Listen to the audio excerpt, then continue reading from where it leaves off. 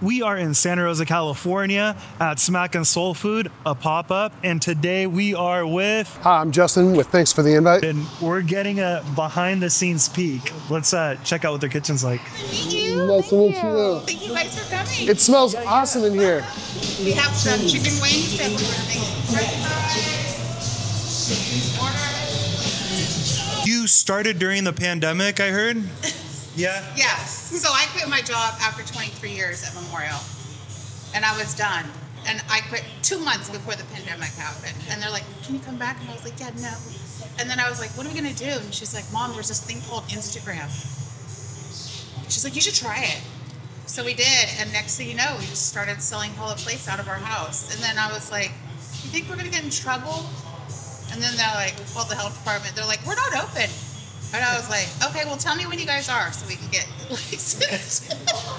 so then we got licensed, and you know, we became a caterer, and then now we're the featured caterer for like Wedding Expo. Michaela got to cook for Dave Chappelle. No way. So you cook for Dave Chappelle? Yes, yeah. when he came to the Luther. What would he eat? Um, so actually, he is vegan as well. So we luckily had vegan collard greens, which he was like mind blown. He was, I think that was his favorite dish. And vegan collard greens, and then we did. red beans and rice. And then what was the main dish? It was waffles. Waffles. Couldn't bring your phones, no nothing. It was just like, here's the food.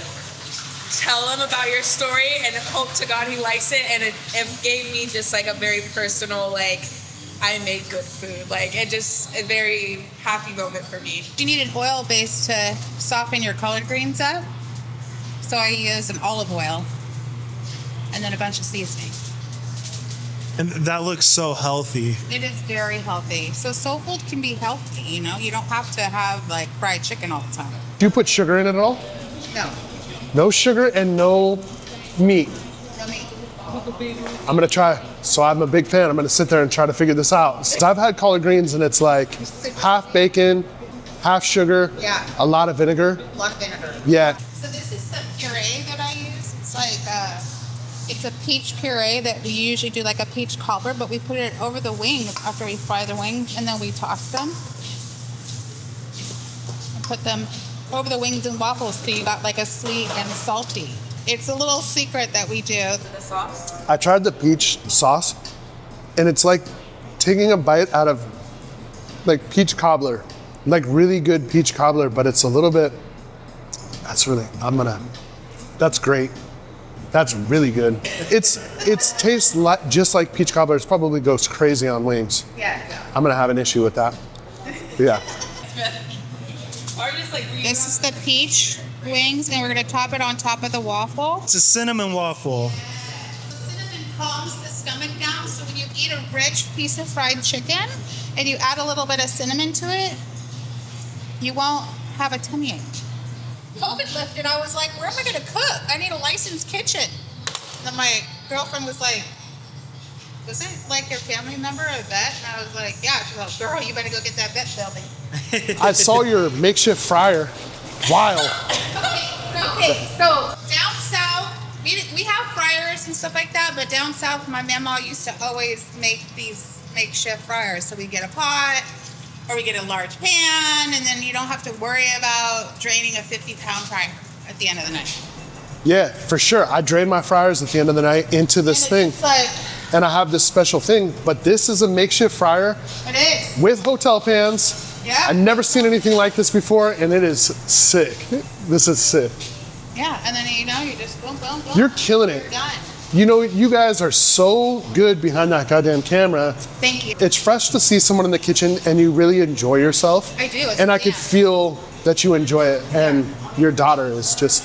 Oh, I You guys are electric together. I Yeah, love it. we dance. It's a we, we like- combo. well, you know, we grow up dancing together, right? And so when we started cooking, and I was teaching her about cooking, I was like, "We're gonna dance together," because our kitchen is this wide at our Yeah. house. I'm super excited to try the catfish. Not a lot of people do catfish around here. They don't do catfish. As a matter of fact, I got into a huge argument at Costco with the manager, Oh, did you? and I said, "I think that you guys are being a little biased, and you need to order catfish and cut back on the salmon."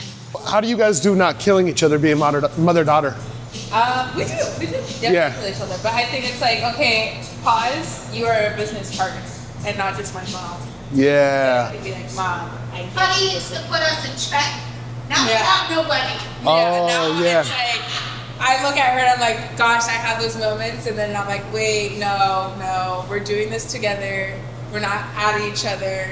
We're here to take a dance. Like So we, COVID made us it definitely, Yeah. it's a dance that we have to do together.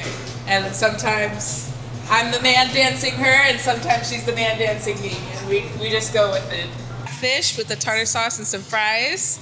We have some collard greens up in here, uh, and they're vegan as well. So for all of our vegan lovers, you're more than welcome to still enjoy the greens. And then we have also the shrimp mackerel. It's a Cajun saute with our smacking sauce, and it has just a topping of some green onions.